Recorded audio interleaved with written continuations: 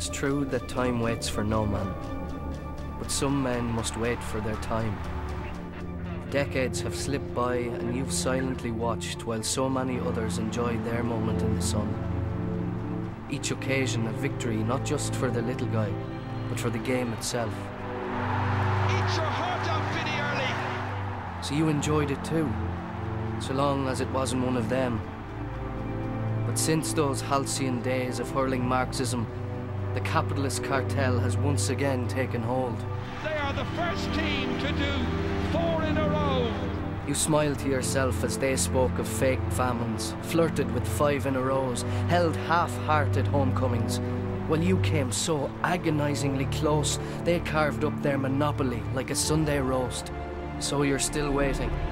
If 29 years isn't sufficient penance, surely twice that is. A generation of hurt, or a lifetime. But this year brings renewed hope. A final as unique and thrilling as the occasion deserves. It's Waterford against Galway for the first time in the history of the GAA. Whoever wins, the party will continue long into the winter months. Those cold, dark evenings warmed by the burning embers that today's inferno will bring. Any other year you'd be cheering them on.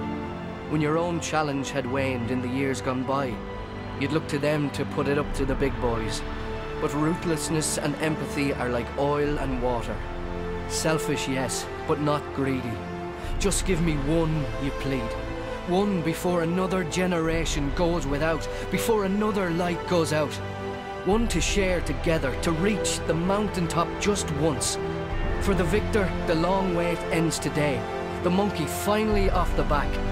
Lose today, and the weight of history just got a whole lot heavier. So who's it to be? You or them? The countdown to glory awaits.